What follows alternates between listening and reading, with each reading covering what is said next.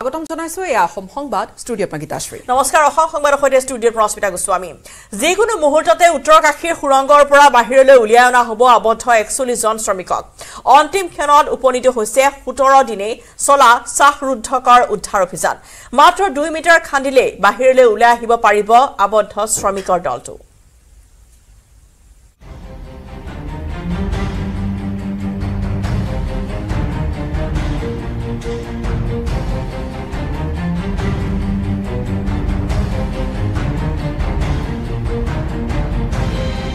অৱশেষত উৎকণ্ঠাৰ অৱসান ঘটিল আৰু সেই একচল্লিছজন শ্ৰমিক মুকলি আকাশৰ তললৈ আহিব। এতিয়া মাথো দুই মিটাৰ খনন বাকী। দুই মিটাৰ খনন কৰাৰ পিছতে সংস্থাপিত কৰা হ'ব অন্তিমডাল পাইপ আৰু সেই পাইপেদিয়েই বাহিৰলৈ ওলাই আহিব এই আবদ্ধ হৈ থকা শ্ৰমিক কেইজন সোতৰ দিন তেওঁলোক আবদ্ধ হৈ আছিল উত্তৰ কাশীৰ সেই নিৰ্মীয়মান অভিশপ্ত সুৰংগটোত।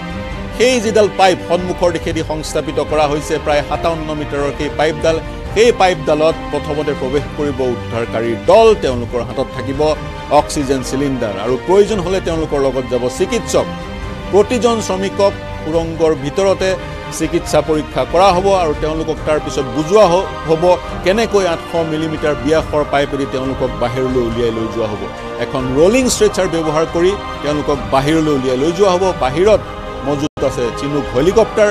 হেলিকপ্টাৰৰ যোগেদি তেওঁলোকক লৈ যোৱা হ'ব চিকিৎসালয়লৈ। সোতৰ দিন আবদ্ধ হৈ আছিল। সন্মুখৰ ফালেদি খনন কাৰ্য আৰম্ভ কৰা হৈছিল। অগাৰ মেচিনে আঠচল্লিছ মিটাৰ খনন কৰাৰ পিছত বাধাৰ সন্মুখীন হৈছিল। আঠচল্লিছ মিটাৰ পাইপ সংস্থাপিত কৰা হ'ল আৰু তাৰ পিছত ঝাঁচি আৰু দেল দিল্লীৰ পৰা অহা ৰেড হোল মাইনাৰ্ছেৰে বাকী বাৰ মিটাৰ অংশ খনন কৰিলে। যথাৰ্থত হাতুৰি বটালি সদৃশ সঁজুলি ব্যৱহাৰ কৰি সেই আঠচল্লিছ মিটাৰ সংস্থাপিত পাইপডালত সোমাই এটা সময়ত এজন ব্যক্তিয়ে এককভাৱে খনন আৰম্ভ কৰিছিল। তেওঁলোকে খনন কৰিবলগীয়া আছিল বাৰ মিটাৰ আৰু বাৰ মিটাৰ খনন কৰি অৱশেষত তেওঁলোকে শব্দ যি শ্ৰমিকসকলৰ অৱস্থিতিৰ শব্দ সেই শব্দ উপলব্ধি কৰিলে। ৰাষ্ট্ৰীয় দুৰ্যোগ প্ৰশমন বিভাগৰ মুৰব্বীগৰাকীয়ে জনোৱা মতে আজি তেওঁলোকক বাহিৰলৈ উলিয়াই লৈ অহা নহয়। কালি তেওঁলোকক বাহিৰলৈ উলিয়াই লৈ অহা হ'ব আৰু তেওঁলোকক যি সুস্থ হৈ আহিবৰ কাৰণে সুস্থ হ'বৰ কাৰণে যি ব্যৱস্থা সেই সকলোবোৰ ব্যৱস্থা তেওঁলোকক দিয়া হ'ব তেওঁলোকক চিকিৎসা কৰা হ'ব।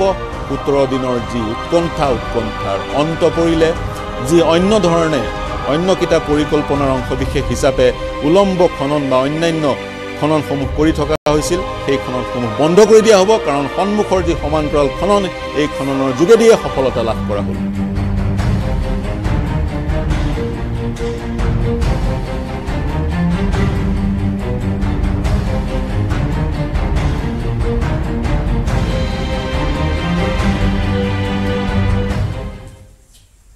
আৰু এই ধৰণে সফলতাৰে আৰু হয়তো কিছু সময় যিকোনো মুহূৰ্ততে ভাল খবৰটো আহিব পাৰে। আন কিছু খবৰলৈ আগবাঢ়িম। এছ আই টিৰ তদন্তত পোহৰলৈ আহিছে এ পি এছ চি কেলেংকাৰীৰ ন ন বিস্ফোৰক তথ্য। মেইনছ নিদিয়াকৈয়ে চাকৰি পাইছিল এ চি এছ আকাশী দুৱৰা আৰু ত্ৰিদীপ ৰায়ে।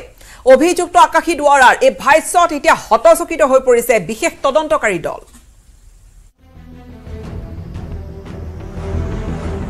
এ পি এছ চি কেলেংকাৰী তদন্ত ক্ষিপ্ৰ গতিত চলিছে।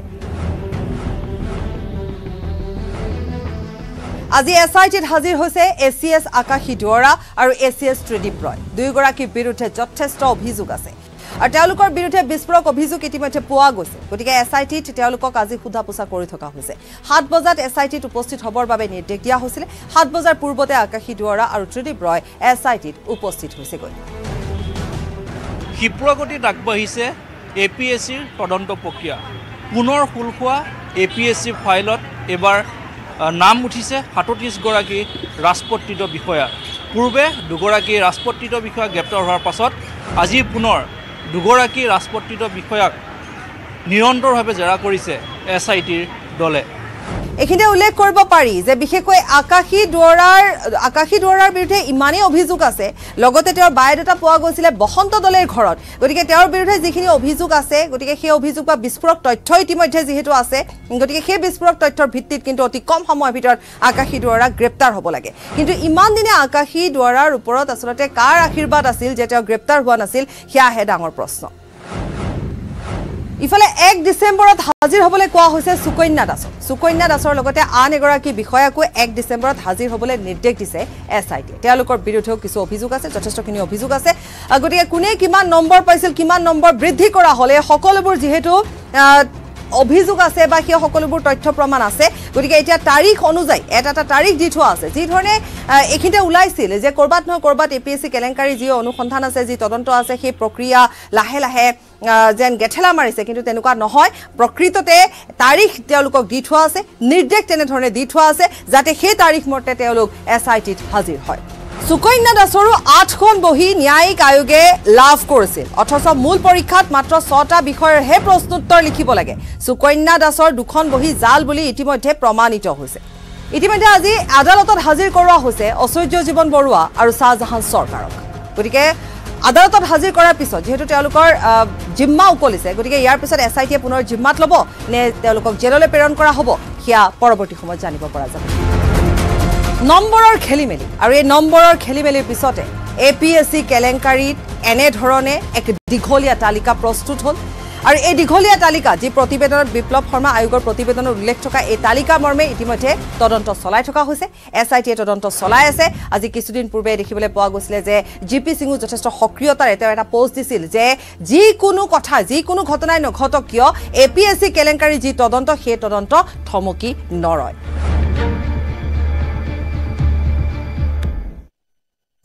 আৰু কিছু সময় অপেক্ষা আৰু কিছু সময়ৰ পিছতে বৰ্ষাপাৰাত অনুষ্ঠিত হ'ব ভাৰত আৰু অষ্ট্ৰেলিয়াৰ মাজৰ তৃতীয়খন টি টুৱেণ্টি মেচ।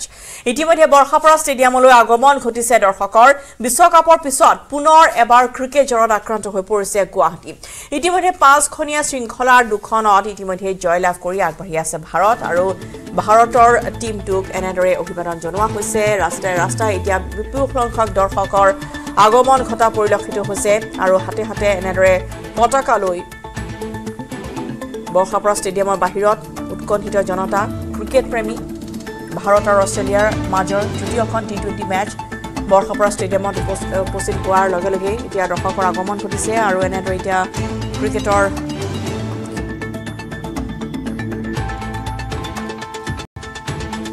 এতিয়া আক্ৰান্ত হৈ পৰিছে গুৱাহাটী। ইতিমধ্যে পাঁচখনীয়া শৃংখলাৰ দুখনত জয়লাভ কৰি আগবাঢ়ি আছে ভাৰত।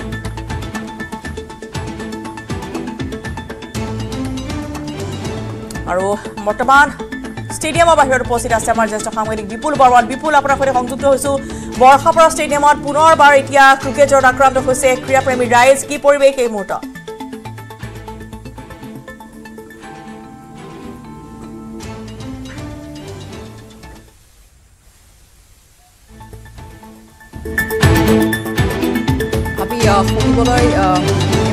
শুনাবলৈ সেইখিনি ভাষ্য চেষ্টা কৰিম। আমাৰ জ্যেষ্ঠ সাংবাদিক বিপুল বৰ্মন তাত আছে। তাৰ পূৰ্বৰ এইখিনি দৃশ্য আমি হাতত এজনে ৰিংকু সিঙক লৈ যিখন বেনাৰ লৈ আছে সেই বেনাৰখন দেখুৱাইছো আৰু এই ধৰণে।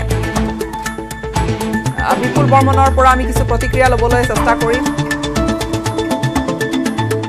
চ' আমি সেইখন টিমৰ ছাপৰ্টাৰ ছাপৰ্ট আছোঁ। ইণ্ডিয়া যিমানেই নাহাৰো কিয়? তথাপিও আমি ইণ্ডিয়া টিমৰ লগতে আছোঁ। So' we stand with India don't worry ত' ভালকৈ খেলিব লাগে। আৰু ৰিংকু সিং জয়ছোৱাল এই শুভমান গিল ঈশান কিষাণ গাইকৱাড আৰু স্কাই এইবিলাক আছে। আজি নাই তাৰমানে ৱৰ্ল্ড কাপ টি টুৱেণ্টি যিখন আছে ৱৰ্ল্ড কাপ হ'ব তাতে চবকে মই ৱৰ্ল্ড দ্য বেষ্ট ইমান কি ভয় খাব নালাগে খেলিলে হ'ল। মই নলবাৰীৰ পৰা আহিছো স্পেচিয়েলি ছাপৰ্ট কৰিব আমাৰ ইণ্ডিয়াৰ টিমত। ফাইনেলৰ বদলা আজি ল'ম আমি। চিৰিজো জিকিম হোৱাইট ৱাছো কৰিম আপোনাৰ পাঁচশখন মেচ জিকি। ইণ্ডিয়া! চিৰিজো জিকিব আৰু হোৱাইট ৱাছ কৰিব হয়। আজি আপুনি কোৱাৰ ধৰণে অস্মিতা এতিয়া আহ, অ শুনা ক'ৰ পৰা আহিছে। আমি ইয়াৰে ইয়াৰ পৰা আহিছে ইয়াতে ইণ্ডিয়া! ইণ্ডিয়া জিকিব।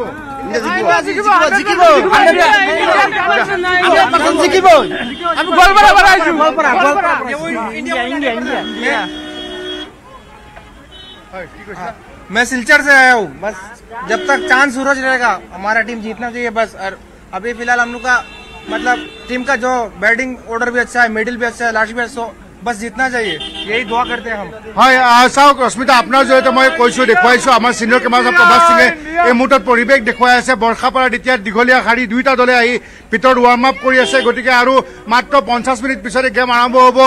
টছৰ কাৰণে দুয়োটা দলে সাজু হৈছে গতিকে এই মুহূৰ্তত এক উদুলি মুদুলি পৰিৱেশ উৎসৱমুখৰ পৰিৱেশ বিৰাজ কৰিছে আৰু আমি দেখুৱাইছোঁ বৰ্ষাপাৰা ষ্টেডিয়ামৰ বাহিৰত এই দুই নম্বৰ গেটৰ বাহিৰত এই দীঘলীয়া শাৰী প্ৰতিটো গেটতে আমি যদি এক নম্বৰ দুই নম্বৰ তিনি নম্বৰ চাৰি নম্বৰ সাতখন গেট আছে মুঠতে গতিকে সকলোখিনি গেটতে এই ধৰণৰ দীঘলীয়া শাৰী দেখিছোঁ। হাজাৰ হাজাৰ লোকৰ তেওঁলোকৰ এটা মনৰ আশা আছে যে আগৰ মেটচ কেইখন চাব নাপালে গতিকে আজি ইণ্ডিয়া!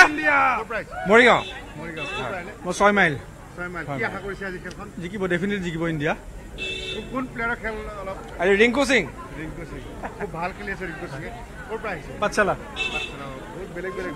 মৰিগাঁও পাঠশালা গুৱাহাটী আৰু নিশ্চয়, অসম বা বিপুল আমি বৰ্মন ত্ৰিপুৰাৰ বিভিন্ন মানুহ ঠাইৰ পাইছিলোঁ। পৰা এইসকল ক্ৰিকেট প্ৰেমী গৈছে আৰু খেলখন চাবলৈ গৈছে আৰু সকলোৱে আশা কৰিছে যে আজিৰ খেলখনত জয়লাভ কৰি চিৰিজ দখল কৰিব। নিশ্চয়। হয় আহ, গতিকে আমি আহ, এই মুহূৰ্তত সকলোৱে তেওঁলোকে যি কৈ আছে যে সূৰ্যকুমাৰ যাদৱ তেওঁ যেতিয়া বাছেৰে আহিছিলে সকলোকে অভিবাদন জনাইছিলে আৰু আহ, সূৰ্যকুমাৰ যাদৱ ঋতুৰাজ গায়কোৱাডে বা এনেধৰণে আমাৰ যিমানখিনি ৰিংকু সিং প্লেয়াৰ আছে আৰ্চাদীপ সকলোখিনি আজি সাজু হৈছে আমি চিনিয়ৰ কেমেৰাৰ বজাত প্ৰভাত সিং আৰু মই দেখুৱাই আছোঁ চাওক এনেধৰণে অকল দীঘলীয়া শাৰীয়ে নহয় ক'ৰ পৰা আহিলে मैं नागपुर से आया हूँ सर हिंदी नागपुर से आए हैं जी मैच देखने सिर्फ गुवाहाटी में मैच देखने के लिए जी। कैसा उम्मीद है एकदम बढ़िया इंडिया तो जीतेगा ही जीतेगा नागपुर का कौन कौन प्लेयर है नागपुर का अभी तो उमेश यादव है। उमेश यादव। जी। हाँ। अभी इधर तो प्लेइंग इलेवन में है नहीं। और दूसरा प्लेयर कौन कौन था और दूसरा प्लेयर अ, कोई नहीं था अभी तो नागपुर का नागपुर तो नागपुर से आया मैच देखने हो ठीक है। India will All the win best, all the thank you best. So much thank you सी নাগপুৰৰ পৰা তেখেতসকলে খেল চাব আহিছে উমেশ যাদৱৰ কথা ক'লে গতিকে এই ধৰণে সকলোৱে আশা তেওঁলোকে যে আমি ঊনৈছ তাৰিখে পৰাজয় বৰণ কৰিছিলোঁ তাৰ পুতক তুলিব লাগিব হোৱাইট ৱাছ কৰিব লাগিব বুলি কৈছে গতিকে আহ, আমি দেখুৱাইছোঁ যে এয়া বৰ্ষাপাৰাৰ আহ, এক নম্বৰ দুই নম্বৰ গেটৰ মাজৰ এই দৃশ্য বাকী প্ৰতিটো গেটতে যথেষ্টখিনি ভিৰ কৰিছে প্ৰায় চল্লিছ হাজাৰ দৰ্শক হোৱাৰ আজি আশা আছে কাৰণ কিয় প্ৰায় আঠাইছ হাজাৰ টিকট বিক্ৰী হৈছিলে বাকী মন্ত্ৰী বিধায়কৰ পৰা সাংবাদিকৰ পৰা আৰক্ষী বা বিভিন্ন বিভাগৰ বিষয়া সকলোকে তেওঁলোকে যিধৰণে পাছ বা চোৱাৰ ব্যৱস্থা কৰি দিছিলে গতিকে তেওঁলোকে বিৰাট কোহলি ৰোহিত শৰ্মা তেওঁলোকে জাৰ্চি তেওঁলোকে পিন্ধি আহিছে যদিও বা তেওঁলোক নাই খেলত কিন্তু তেওঁলোকে জাৰ্চি পৰিধান কৰি আহিছে। আৰু যদিও বা বিৰাট কোহলি শুভমান গিল বা বিশ্বকাপত দেখা সেই কেইখন মুখ এই দলটোত নাই কিন্তু উৎসাহ কোনো গুণে কম নহয়। ইয়াত সকলো এখন ভাল খেল চাবলৈ ৰৈ আছে আৰু ভাৰত জিতক এয়াই সকলোৱে কামনা কৰি আছে। जलपाईगुड़ी হয় গীতাশ্ৰী জল জলপাইগুৰি পাইছে কাহা से आए हैं जलपाईगुड़ी से आए हैं तो आज किसका गेम रिंकू सिंह आज रिंकू सिंह का गेम है हम लोग का इंडिया का गेम है जा- जादू कौन दिखाएगा कौन कौन मारेगा जादू कौन दिखाएगा आज इंडिया का इलेवन के इलेवन प्लेयर ही जादू दिखाएंगे হয় গোটেই এঘাৰজনে ভাল খেল দেখুৱাব আৰু আহ, এনেধৰণে আহ, আপুনি হয়, ঠিক আছে আপোনাক অল দ্য বেষ্ট হয় আমি দেখুৱালো নিউ জলপাইগুৰি ৱেষ্ট বেংগলৰ পৰা আহিছে আৰু আহ, এনে- এনেধৰণে সকলোৰে মনৰ প্ৰতিক্ৰিয়া লৈ আছো গীতাশ্ৰী আমি দেখুৱাইছো যে এনেধৰণে এক উদুলি মুদুলি পৰিৱেশ। কাৰণ কিয় সুবৰ্ণ সুযোগ আহিছে। আমাৰ যি প্ৰথম লাইনৰ যিখিনি ছিনিয়ৰ প্লেয়াৰ তেওঁলোকে ৰেষ্ট লৈছিলে। ৰবীন্দ্ৰ জাদেজা ৰোহিত শৰ্মা বিৰাট কোহলি কে এল ৰাহুল শুভমন গিল তেওঁলোকে বা আমি যদি বলাৰ কওঁ বুমৰাহ বা চিৰাজ বা স্বামী সকলোৱে ৰেষ্ট লোৱাৰ কাৰণে আজি এটা অন্য এটা ছিনিয়ৰ দল গঠন কৰিছে য'ত Suryakumar Yadav captain Ruturaj Gaikwad vice captain বা এই টিমটোতে আৰ্চাদীপ আছে তিলক বাৰ্মা আছে গতিকে সকলোৱে তেওঁলোকে আৰু এই দলটোতে যশস্বী জয়ছোৱালো তেওঁ আছে গতিকে আজি এখন ভাল খেল আশা কৰা হৈছে এইখন হ'ল দুই নম্বৰ গেট। দুই নম্বৰ গেটতো দেখিছে কি ধৰণৰ দীঘলীয়া শাৰী। আমি তেওঁলোকে ক'ৰ পৰা আহিছে কেনেকে তেওঁলোকক কোন জিকিব কি আশা সেই কথাখিনিও সৰু- সৰু বাচ্চাও আহিছে। দাদা ক'ৰ পৰা আহিছে আপোনালোকে? ক'ৰ পৰা আহিছে? হয়, নিশ্চয়কৈ পৰিৱেশ আমি পৰৱৰ্তী বাতৰিটো অব্যাহত ৰাখিম বিপুল এই মুহূৰ্তত ধন্যবাদ জনাইছো আৰু। এনেদৰে কণ কণ শিশুৰ পৰা আহ, পুৰুষ মহিলা সমন্বিত সকলো আহিছে। এইখন মেচ চাবলৈ আৰু সকলো আশাবাদী যে ভাৰতীয় দলটোৱে জয়লাভ কৰিব এইখন খেলতো বৰ্ষাপাৰা ষ্টেডিয়ামৰ বাহিৰৰ এই দৃশ্য। এতিয়া প্ৰতিখন গেটৰ বাহিৰত অগণন দৰ্শকৰ ভিৰ। এয়া দুই নম্বৰ গেটৰ বাহিৰৰ পৰা আমাৰ পোনপটীয়া সম্প্ৰচাৰ আছে।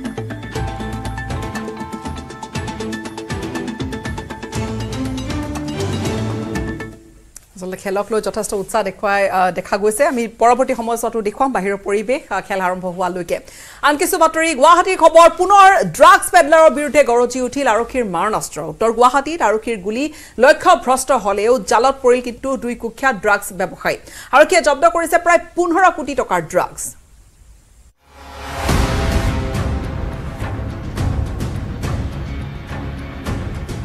পুনৰ গৰজি উঠিল আৰক্ষীৰ গুলী। পলাবলৈ যত্ন কৰিছিলোঁ।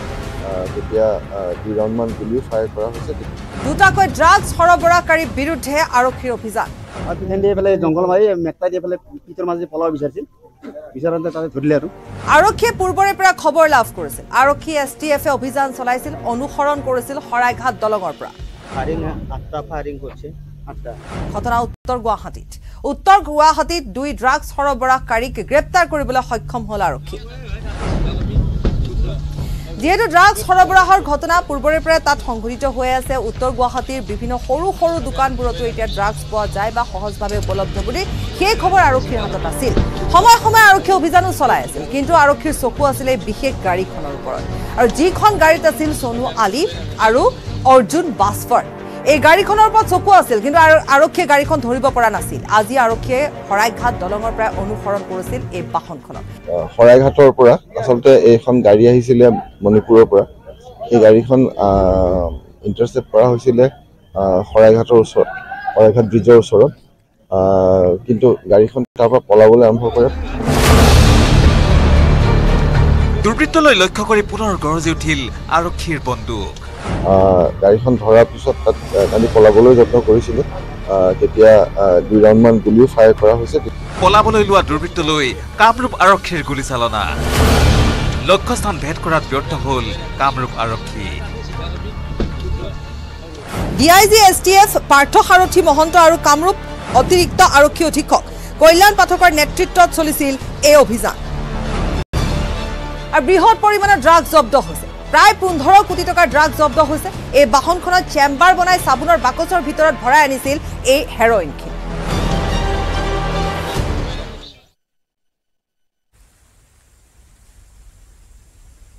আন কিছু খবৰলৈ আগবাঢ়িম। শীঘ্ৰে স্থানান্তৰ হ'ব ফাঁচী বজাৰৰ পাইকাৰী বজাৰ। ফাঁচী বজাৰৰ পাইকাৰী বজাৰ স্থানান্তৰৰ বাবে ইতিমধ্যে আৰম্ভ হৈছে কাম। ইপিনে চাংচাৰী অথবা উত্তৰ গুৱাহাটীলৈ পাইকাৰী বজাৰ স্থানান্তৰৰ বিৰোধিতা কৰিছে ব্যৱসায়ীসকলে।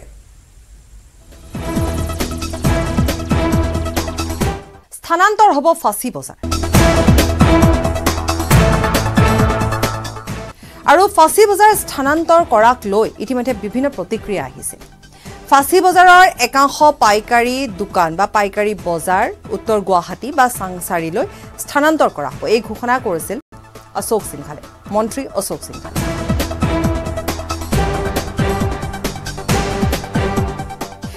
যিহেতু গুৱাহাটী মহানগৰীৰ তীব্ৰ যান জঁট গতিকে সেই তীব্ৰ যান জঁটক নিয়ন্ত্ৰণলৈ আনিবৰ বাবে ফাঁচী বজাৰৰ একাংশ পাইকাৰী দোকান স্থানান্তৰ কৰাৰ কথা ইতিমধ্যে ঘোষণা কৰা হৈছে। তাকে লৈ যথেষ্ট প্ৰতিক্ৰিয়া আহিছে।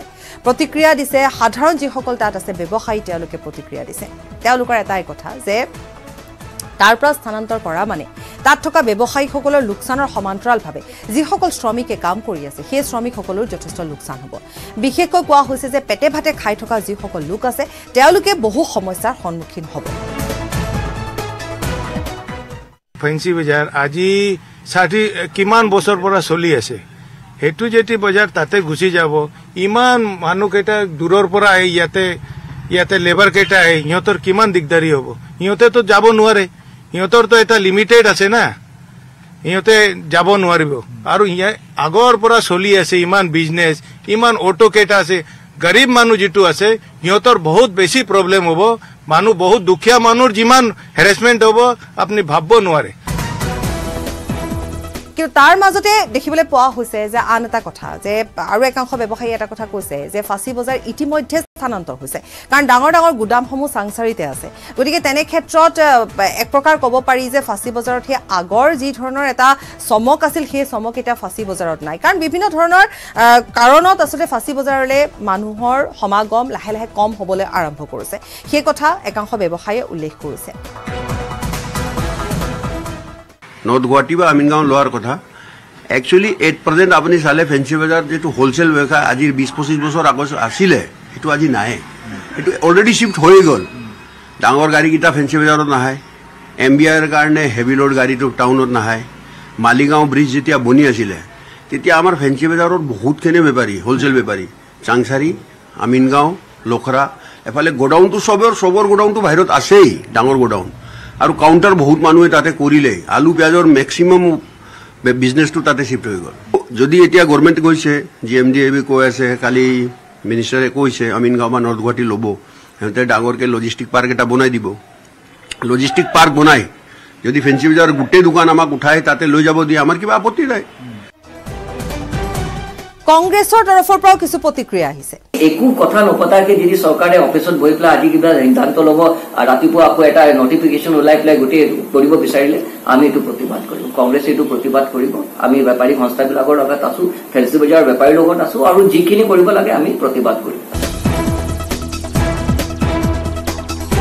এতিয়া কথা হৈছে যে ফাঁচী বজাৰ স্থানান্তৰ কৰা মানে কিমান সংখ্যক লোক অসুবিধাত পৰিব। কাৰণ ফাঁচী বজাৰখন দূৰ হৈ পৰিব। আৰু বিশেষভাৱে সাধাৰণ যিখিনি ৰাইজ আছে তেওঁলোকে ফাঁচী বজাৰখনেই সাধাৰণতে নিৰ্বাচন কৰে। কাৰণ ফাঁচী বজাৰত হ'লচেলত যিখিনি সামগ্ৰী পোৱা যায় কম দামত সেইখিনি সামগ্ৰী ক্ৰয় কৰিবৰ বাবে ফাঁচী বজাৰত যোৱা হয়। কিন্তু দেখিবলৈ পোৱা গৈছে কভিডৰ পিছৰে পৰা ফাঁচী বজাৰৰ সেই আগৰ দৰে মানুহৰ সমাগমো লাহে লাহে কমি আহিছে। গতিকে এক প্ৰকাৰ ব্যৱসায়ীসকল লোকচানৰ সন্মুখীন হোৱা বুলি কোৱা হৈছে। কিন্তু কথা হৈছে যে এই ফাঁচী বজাৰখন চাংচাৰীলৈ নিয়াৰ পিছত ফাঁচী বজাৰত যিহেতু কোৱা হৈছে একাংশহে নিব কিন্তু যিয়ে নহওক চাংচাৰী বা উত্তৰ গুৱাহাটীলৈ যদি লৈ যোৱা হয় তেতিয়াহ'লে কিমান প্ৰভাৱ পৰিব? সাধাৰণ যিসকল গ্ৰাহক আছে তেওঁলোকৰ লগতে যিখিনি বিক্ৰেতা আছে তেওঁলোকৰ ওপৰত যিখিনি শ্ৰমিকে তাত কাম কৰি আছে তেওঁলোকৰ ওপৰত গতিকে কিমান প্ৰভাৱ পৰিব পাৰে? বিভিন্নজনৰ বিভিন্ন মত আছে কিন্তু এয়া আচলতে সিদ্ধান্ত গ্ৰহণ কৰা হৈছে যদিও বা এয়া কাৰ্যকৰী হ'বলৈও কিন্তু যথেষ্ট সময় লাগিব। কাৰণ এই কাৰ্যকৰী হোৱাৰ লগে লগে ইয়াত কিছু ব্যৱস্থাপনাৰ মাজেৰে বা এটা আলোচনাৰ মাজেৰে হয়তো এয়া কাৰ্যকৰী হ'ব গতিকে তাৰ বাবেও কিছু সময় লাগিব। কিন্তু প্ৰতিক্ৰিয়া আহিছে যথেষ্ট প্ৰতিক্ৰিয়া আহিছে আৰু তাৰ ভিতৰত দেখিবলৈ পোৱা গৈছে যে সাধাৰণতে যথেষ্টখিনি অসুবিধাৰ সন্মুখীন হোৱাৰ কথাহে বিভিন্নজনে উল্লেখ কৰিছে।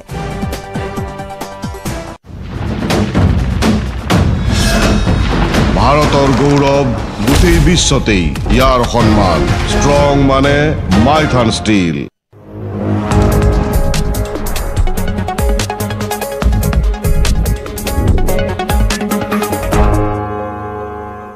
কংগ্ৰেচুলেশ্যন মুকলি কৰি দিলে চৌব্বিছ গৰাকী পণবন্দীক আমাছে যি নেকি সাত অক্টোবৰত ইজৰাইলৰ ভূখণ্ডত প্ৰৱেশ কৰি হত্যাযজ্ঞ চলাই বন্দী কৰিছিল প্ৰায় দুশ পঞ্চাছজনকৈ ইজৰাইলী নাগৰিকক আৰু বিদেশী লোকক। আৰু সেই মৰ্মে আৰম্ভ হৈছিল যুদ্ধ আৰু তাৰে প্ৰতিশোধকল্পে ইজৰাইলে চলাইছিল ভয়াৱহ আক্ৰমণ যি আক্ৰমণ অত্যন্ত ভয়ংকৰ আক্ৰমণ হিচাপে ইতিহাসত চিহ্নিত হৈ ৰৈছে। আৰু এই আক্ৰমণ বন্ধ কৰিবৰ বাবে কাটাৰৰ মধ্যস্থতাত আৰম্ভ হৈছিল যুদ্ধবিৰতি চুক্তিৰ বাবে হেঁচা। উভয় পক্ষৰ মাজত কাটাৰে মধ্যস্থতাকাৰী ভূমিকা গ্ৰহণ কৰি অৱশেষত এই যুদ্ধবিৰতি আনিবলৈ সক্ষম হ'ল আৰু যাৰ বাবে চাৰিদিনৰ যুদ্ধবিৰতিৰ প্ৰথম পৰ্যায়ত মুকলি কৰা হ'ল চৌব্বিছগৰাকী পণবন্দীক। আৰু ইয়াৰ ভিতৰত দহগৰাকী থাইলেণ্ডৰ এগৰাকী ফিলিপিনছৰ আৰু বাকী তেৰগৰাকী ইজৰাইলৰ বন্দী বুলি ইতিমধ্যে চিহ্নিত কৰা হৈছে বা এই কথা উল্লেখ কৰা হৈছে। আৰু যি দৃশ্য দেখিবলৈ পোৱা হৈছে পণবন্দীসকলক মুকলি কৰাৰ পাছতেই এক আৱেগিক পৰিৱেশে বিৰাজ কৰিলে আত্মীয় স্বজনৰ মাজত।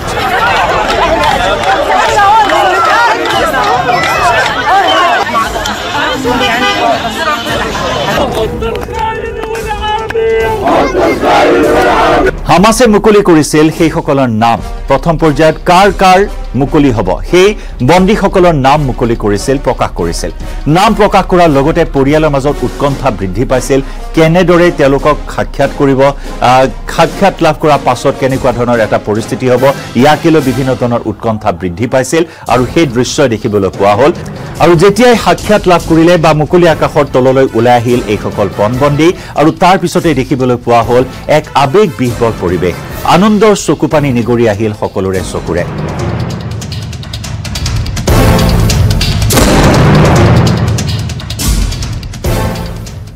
এক দীৰ্ঘদিনীয়া উৎকণ্ঠা তেওঁলোক ক'ত আছে ক'ত তেওঁলোকক ৰখা হৈছে কি খাবলৈ দিয়া হৈছে এনেকুৱা ধৰণৰ দুশ্চিন্তাৰ যুগ इस सफर का सरताज हूँ मैं शहर से गांव तक सड़कों का मोहताज हूँ मैं। आ रहा हूँ मैं आसाम की सड़कों पर कुमार इंजीनियरिंग का नया ताज हूँ coming soon Kumar engineering we understand your need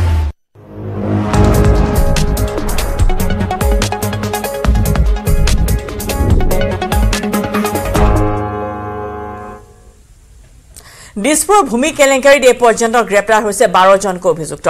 আৰক্ষীৰ জালত পৰিছে ডি টি পি অপাৰেটৰসহ ৰাজ্য চক্ৰ কাৰ্যালয়ৰ উপ পঞ্জীয়কলৈ শীঘ্ৰেই জালত পৰিব পাৰে আৰু ৰৌ বৰালী।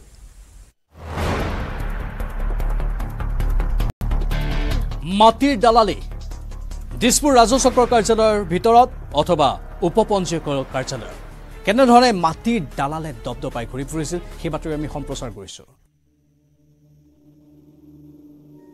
আৰু মাটিৰ দালালি লগতে মাটিৰ দুই নম্বৰী কাগজ পত্ৰ তৈয়াৰ কৰা এটা চক্ৰ উৎখাত হৈছে। এতিয়ালৈকে এঘাৰজনক গ্ৰেপ্তাৰ কৰাৰ খবৰ আহিছে।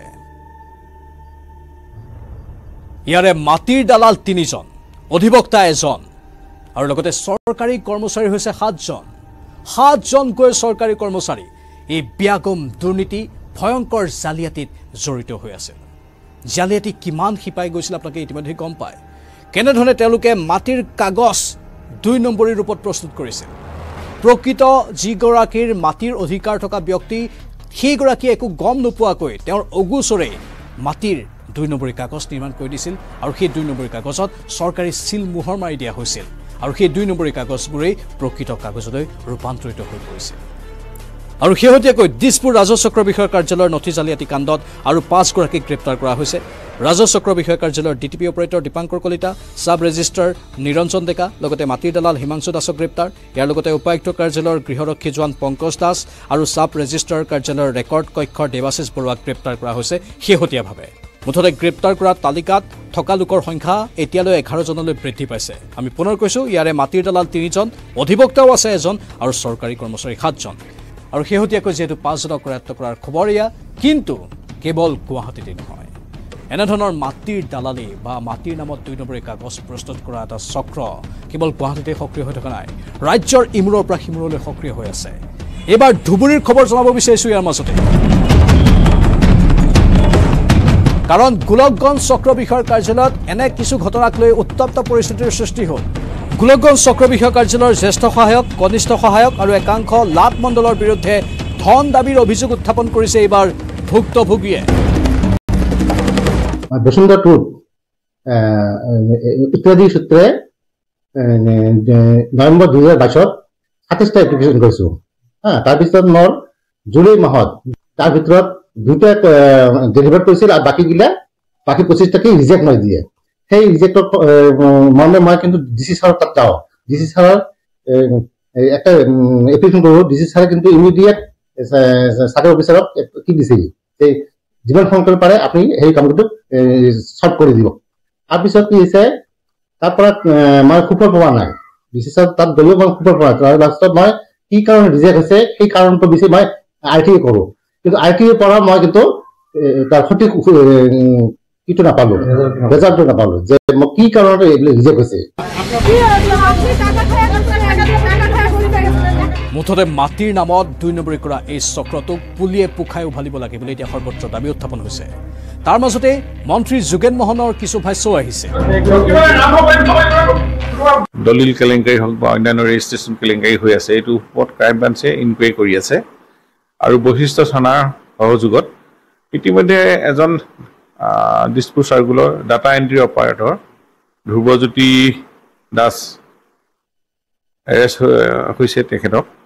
আৰু এজন চাব ৰেজিষ্টাৰ চাকৰি কৰা নিতুল দাস।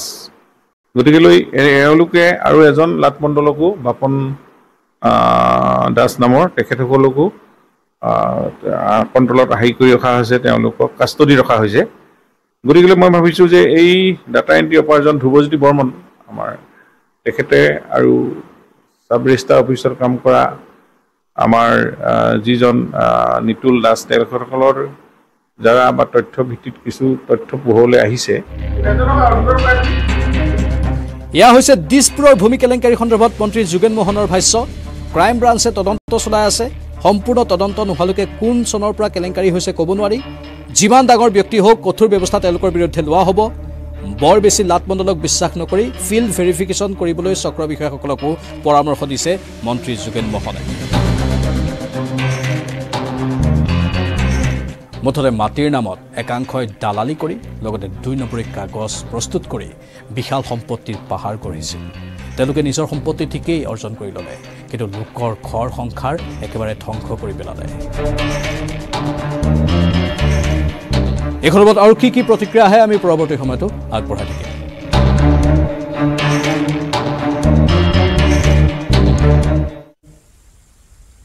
শীঘ্ৰে বলবৎ হ'ব নাগৰিকত্ব সংশোধনী আইন। কেন্দ্ৰীয় গৃহ ৰাজ্য মন্ত্ৰী অজয় মিশ্ৰ তেনিৰ ঘোষণাৰ পিছতে প্ৰতিক্ৰিয়া মুখৰ হৈ পৰিছে ৰাজ্য।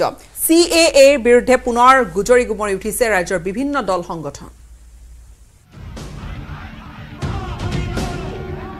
চৌব্বিছৰ পূৰ্বেই দেশত বলবৎ হ'ব কা কেন্দ্ৰীয় গৃহ ৰাজ্য মন্ত্ৰী অজয় কুমাৰ মিশ্ৰৰ ঘোষণাই এই মুহূৰ্তত তীব্ৰ প্ৰতিক্ৰিয়াৰ সৃষ্টি কৰিছে। সন্মুখত চৌব্বিছৰ লোকসভা নিৰ্বাচন। ভোট অহাৰ লগে লগে পুনৰ ভুমুকি মাৰিছে কাই। চিটিজেন এমেণ্ডমেণ্ট এক্ট কাৰ্যকৰী কৰাৰ বাবে এতিয়া উঠি পৰি লাগিছে কেন্দ্ৰীয় চৰকাৰ। এটাৰ পিছত আনটো তাৰিখ লৈছে ইয়াৰ পূৰ্বেও। এইবাৰ পুনৰ নিৰ্ধাৰণ কৰিছে তাৰিখ আৰু সেই মৰ্মে দুই হেজাৰ চৌব্বিছ চনৰ ন জানুৱাৰীৰ পৰা দুই হেজাৰ চৌব্বিছ চনৰ ত্ৰিছ মাৰ্চৰ ভিতৰত কাৰ বিধি বলবৎ কৰা হ'ব দেশত কা কাৰ্যকৰী কৰা হ'ব দেশত? পশ্চিমবংগৰ জনসভাত কেন্দ্ৰীয় গৃহ ৰাজ্যমন্ত্ৰী অজয় কুমাৰ মিশ্ৰৰ এই ঘোষণাৰ লগে লগে এতিয়া অসমতো তীব্ৰ প্ৰতিক্ৰিয়াৰ সৃষ্টি হৈছে। উল্লেখযোগ্য যে পশ্চিমবংগৰ মতুৱা সম্প্ৰদায়ৰ এখন জনসভাত অংশগ্ৰহণ কৰি এই আশ্বাস প্ৰদান কৰিলে এই প্ৰতিশ্ৰুতি প্ৰদান কৰিলে কেন্দ্ৰীয় গৃহ ৰাজ্যমন্ত্ৰীগৰাকী। ইয়াৰ পূৰ্বেও দেশৰ প্ৰধানমন্ত্ৰী নৰেন্দ্ৰ মোদী কেন্দ্ৰীয় গৃহমন্ত্ৰী অমিত শ্বাহেও কাৰ বিধি কাৰ্যকৰী হ'ব বুলি ইংগিত প্ৰদান কৰিছিল চৌব্বিছৰ ভোটৰ পূৰ্বে। মতুৱা সম্প্ৰদায়। বাংলাদেশৰ পৰা প্ৰব্ৰজিত এই সম্প্ৰদায়ে পশ্চিমবংগত দহৰ পৰা পোন্ধৰটা লোকসভা সমষ্টিত বিশেষভাৱে গুৰুত্ব আছে। আৰু সেই গুৰুত্বৰ প্ৰতি লক্ষ্য ৰাখিয়েই এইবাৰ পুনৰবাৰ প্ৰতিশ্ৰুতি দিছে এই সম্প্ৰদায়ৰ লোকসকলক যে চৌব্বিছৰ নিৰ্বাচনৰ পূৰ্বেই কাৰ বিধি বলবৎ কৰা হ'ব দেশত। আৰু ইয়াৰ প্ৰভাৱ অসমত বাৰুকৈ পৰিব আৰু যাক লৈ এতিয়া জাঙুৰ খাই উঠিছে অসমৰ ৰাজনৈতিক অৰাজনৈতিক সংগঠনসমূহ। ৰাজনৈতিক অৰাজনৈতিক দল সংগঠনসমূহে তীব্ৰ প্ৰতিক্ৰিয়া প্ৰকাশ কৰিছে। উচ্চতম ন্যায়ালয়ৰ ওপৰত আস্থা আৰু বিশ্বাস আছে। উত্তৰ পূৰ্বাঞ্চলৰ অসমৰ পৰা আবেদন আবেদন কৰা তেপন্নখন আবেদন আৰু সমগ্ৰ ভাৰতবৰ্ষৰ পৰা আবেদন কৰা দুশৰো দুশৰো অধিক যি আবেদন আছে সেই আবেদনসমূহৰ শুনানিৰ ভিত্তিত উচ্চতম ন্যায়ালয়ে এক ৰায়দান প্ৰদান কৰিব আৰু সেই ৰায় সদায় ৰাইজৰ পক্ষত হ'ব। ইফালে ৰাইজৰ দলৰ সভাপতি তথা শিৱসাগৰৰ বিধায়ক অখিল গগৈয়ে প্ৰকাশ কৰিছে তীব্ৰ ক্ষোভ আৰু অসন্তুষ্টি।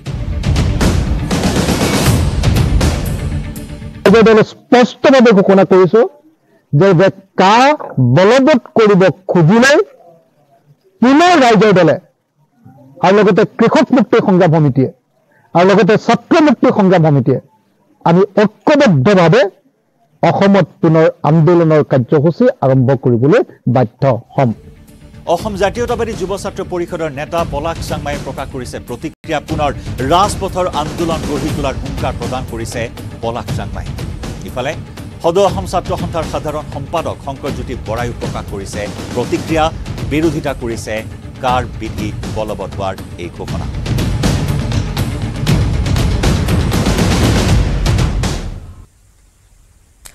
আৰু চাওঁ আহক টপ টেন হেডলাইনছ